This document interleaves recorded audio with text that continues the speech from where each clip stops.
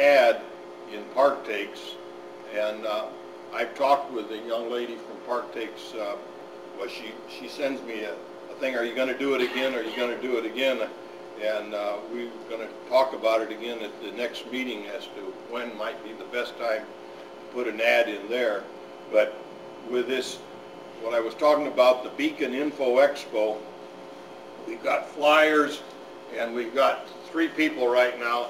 Uh, Here's some extra flyers already for the 2010 that uh, if anybody wants to take one now, you, you can, but uh, we're going to hopefully get some younger members in their 50s and 40s.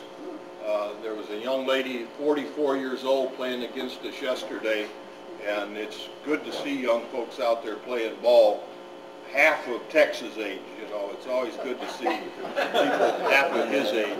But the best, and still this year, uh, the majority of the uh, recruiting was done by the members. And uh, last year it was 48% by referrals of current members.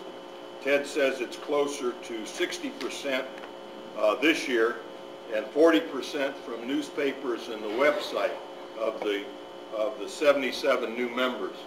So if we can get 77 to 100 new members, we can still have 26, maybe 27 teams if we shoot for that for next year.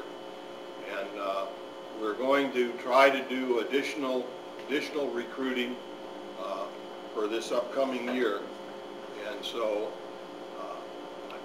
anybody has ideas, don't hesitate to send me an email at rlredelman at cox.net or call me on Uh, 2009 financial reports and the budget for 2009, and I'll wait until they get handed out. There, there may, there may not be enough copies for every single person, but, uh, so if you could share. Along. The, um, the first column on the left identifies the different elements of income and expense that uh, NVSS has, and they're pretty consistent year after year. The first column of numbers is our experience for 2008, and that was published in the winter slow pitch, so you've already seen those numbers. The next two columns deal with 2009. The actual column is through September 30th of 2009, information that's been reported. The sec, the budget column for 2009 is 12 months, it's the calendar year. And the final budget, excuse me, final column there is the budget for 2010. Um, So, you know, it looks fairly straightforward. As far as 2009 actual is concerned, um, by and expenditures and income for the year are, are finished at this point in the year, September 30th. We will have additional income and expense for the winter exercise program, the indoor program in Springfield, which you'll hear more about in a few minutes. So we will have both income and expense there. We will have additional expense for field maintenance that we have yet to pay. And I think there's one additional slow pitch that has to go into these numbers. It's not included here yet. The one that was just handed out, we didn't receive the bill yet. So the numbers for 2009 are, by and large, fairly well set at this point in the year. The budget for 2010 tracks very closely to what we've had in prior years. Um, No big surprises, no big changes. The two items of expense that are different, different next year, significantly different. I mean, there are differences, but the physical exercises on the uh, 9:30 to 11:30 Tuesday and Thursday, uh, showing him doing some exercises with Tom Horio. But the winter program, uh, the cost will be the same this coming year.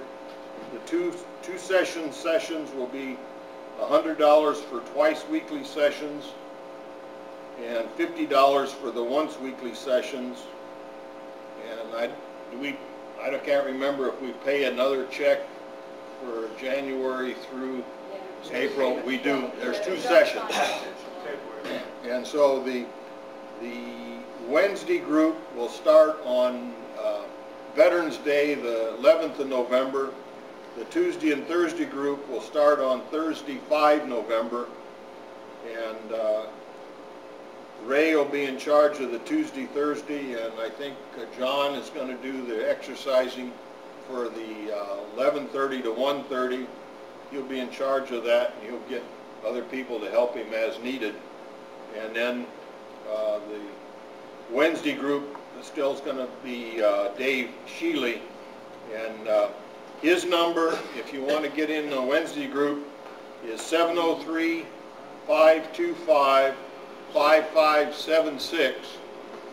And Ray's number is uh, 703-971-2124. But just show up, and uh, there's usually a wait list sometimes for the 9:30 to 11:30 Tuesday, Thursday, but uh, there's usually openings in the 11:30 to 1:30.